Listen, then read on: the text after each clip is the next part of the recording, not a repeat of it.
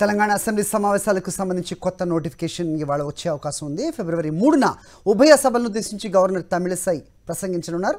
ఆరున బడ్జెట్ ప్రవేశపెట్టనుంది ప్రభుత్వం. మరోవైపు పెండింగ్లో ఉన్న ఆరు బిల్లులకు గవర్నర్ గ్రీన్ సిగ్నల్ ఇచ్చారు.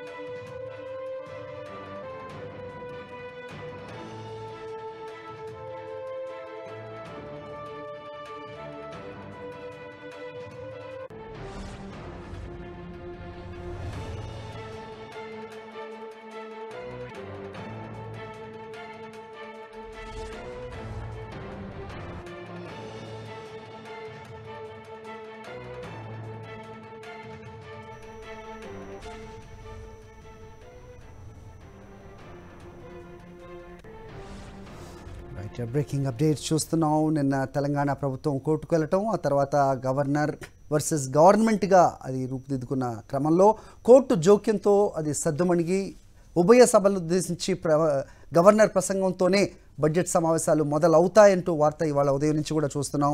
అయితే గవర్నర్ కొన్ని సూచనలు చేసినట్టుగా ప్రస్తుతం బ్రేకింగ్ న్యూస్ అందుతోంది. కొన్ని మార్పులు చేయాల్సిన అవసరం ఉంది. వాస్తవాలకు దగ్గరగా స్పీచ్ని ప్రిపేర్ చేయాలంటూ గవర్నర్ సూచించినట్టుగా అయితే మంత్రి ప్రసాద్ రెడ్డి వాస్తవాలకు దగ్గరగానే ప్రసంగం ఉంటుంది అనేది ఆవిడ ఆయన మళ్ళీ తిరిగి చెప్పినట్టుగా మనం బ్రేకింగ్ న్యూస్ చూస్తూ ఉన్నాం. సో వాస్తవాలకు దగ్గరగా ఉండాలని గవర్నర్ సూచించారు. గవర్నర్ సూచనలకు మంత్రి ప్రశాంత్ రెడ్డి ఓకే చెప్పారు. మరిన్ని అప్డేట్స్ మా కరెస్పాండెంట్ నరసింహారావు ఇస్తారు. నరసింహారావు చెప్పండి. సో సమస్య పోయినట్లేనా? ఇవాళ ఉదయం చూసాం మనం. సో విజయం ఎవరిది అంటే ఒకంత గవర్నర్ పై చేయి సాధించారు అనేది పలువురు విశ్లేషకులు చెప్పిన మాట. ప్రస్తుతం స్పీచ్లో కూడా అనుకున్నట్టుగానే ఒకంత కొన్ని చేంజెస్ చేయాలి అంటూ గవర్నర్ సూచించినట్టుగా దానికి మంత్రి ప్రశాంత్ రెడ్డి ఓకే చెప్పినట్టుగా చూస్తున్నాం. ఏం జరుగుతోంది? వాస్తవాలకు దగ్గరగా ఉండాలని ఆ చెప్పడంలో ఏ విధంగా తీసుకోవాలి దాన్ని?